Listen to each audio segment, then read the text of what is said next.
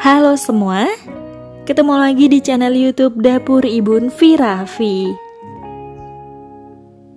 Di video kali ini, saya mau buat kue semprit jadul yang rasanya enak dan renyah banget. Mau tahu cara buatnya? Tonton terus videonya sampai habis dan jangan lupa subscribe, like, dan tekan loncengnya juga agar nggak ketinggalan video terbaru dari saya. Terima kasih. Siapkan wadah, lalu masukkan 200 gram margarin ke dalam wadah. Saya pakai margarin merek Blue Band. Untuk margarinnya ini bisa dimix dengan butter supaya rasa kuenya semakin enak. 130 gram gula halus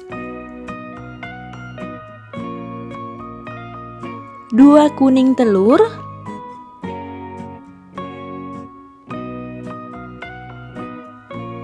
Lalu aduk dengan spatula sampai tercampur rata.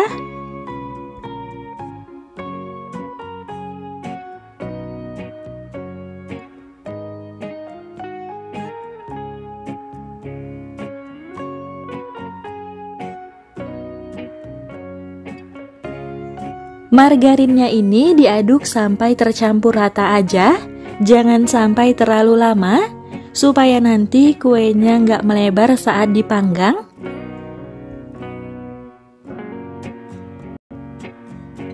Setelah tercampur rata, masukkan 265 gram tepung terigu, 25 gram tepung maizena,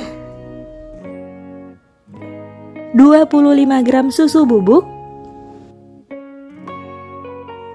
Aduk kembali dengan spatula sampai adonannya tercampur rata.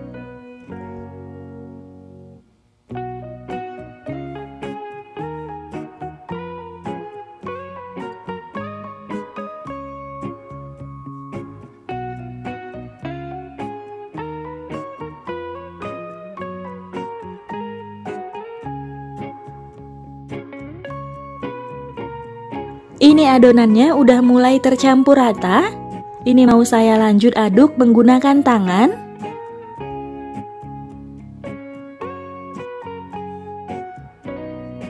Uleni adonan sampai adonannya kalis dan bisa dibentuk.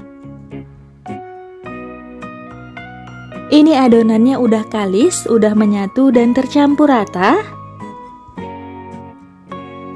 Siapkan alas kerja dan cetakan kue semprit seperti ini. Lalu isi cetakan dengan adonan. Isi sampai cetakannya penuh dan padat.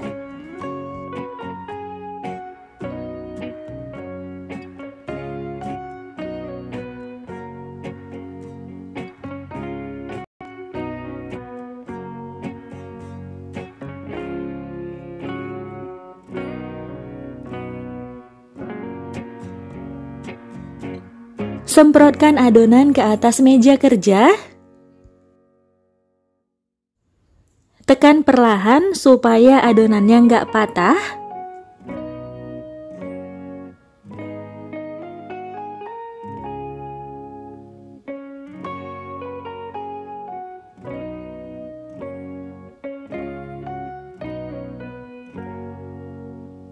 Lakukan lagi hal yang sama seperti yang pertama tadi.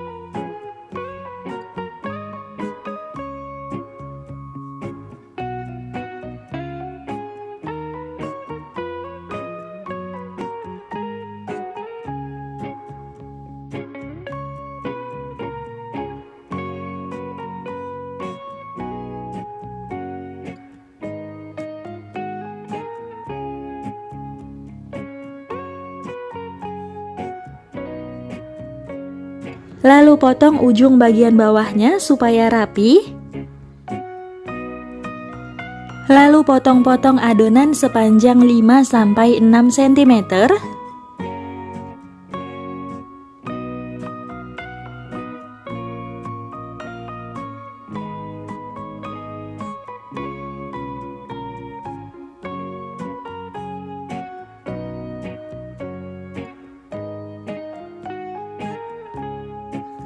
Sisihkan bagian ujung atas dan bawah adonan yang tersisa.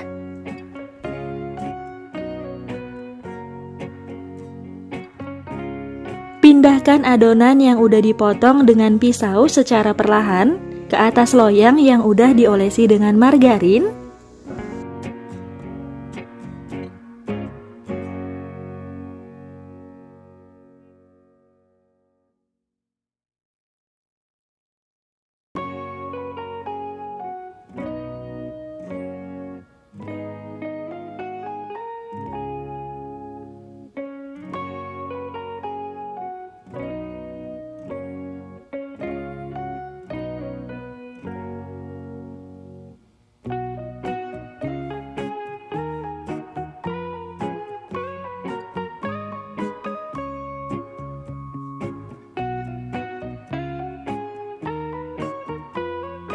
Setelah selesai, ini disisihkan dulu. Cetak lagi adonannya. Lakukan hal yang sama seperti yang pertama tadi.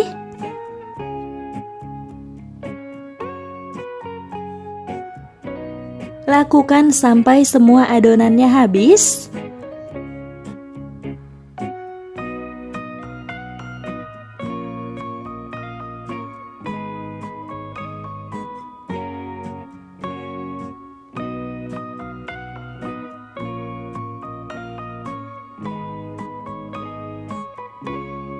Setelah adonan selesai semuanya dicetak, masukkan adonan ke dalam oven yang udah dipanaskan sebelumnya. Saya menggunakan oven tangkring, letakkan di rak bawah dan rak yang atas. Gunakan api kecil, jangan lupa buka lubang bagian atas ovennya. Masak selama 15-20 menit. Setelah 15 menit dimasak, Pindahkan loyang di rak bawah ke rak yang atas dan loyang di rak atas ke rak yang bawah.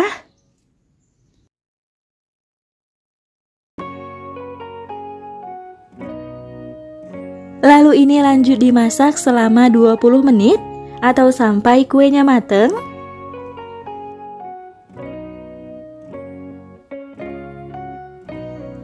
Setelah total waktu dimasak selama 35 menit, ini kuenya udah mateng.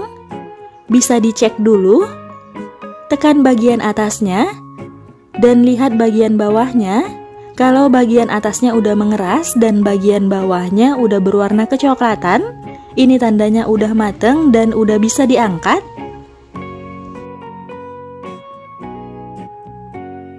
Kemudian susun kue di dalam toples. Sebelum disusun, bisa juga kuenya ditunggu dingin dulu. Setelah disusun, kuenya ini siap untuk dihidangkan atau dijual.